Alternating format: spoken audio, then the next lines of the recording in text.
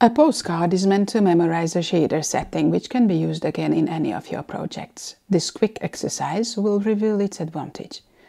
Apply a new shader to the floor and make the pattern parallel to the wall. Click on a postcard icon in the upper right hand side of the inspector's toolbar to display the postcard window. Click the button to create a postcard. Remember to give it a name and save it. Once it is stored, it will remain in your postcard window for any future project. Change the material of the same surface to create a new variation to your scene. How can we return to the previous setting? If you apply the same shader to the floor from the catalog, the pattern won't be parallel to the wall.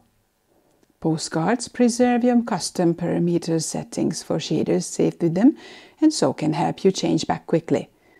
Clicking the icon at the lower right corner of the dialog, you can apply all shader attributes saved in the postcard to the current scene.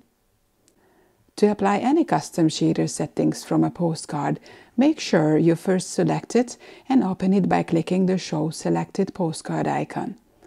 Drag and drop the desired shader from the postcard into the preview over the chosen surface.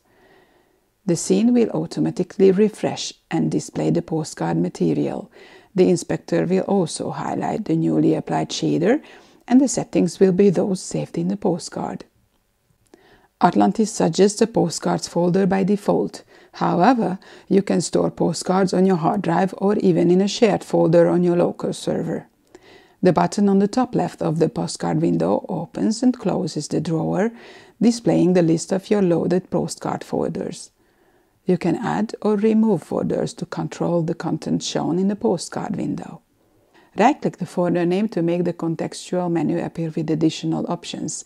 Check or uncheck a folder, reveal it in the folder where it is stored, or remove it from the list. Postcards are small JPEG images which are independent of projects. They are an excellent tool to share settings graphically among team members on the server or via email, as long as the JPEG file stays intact.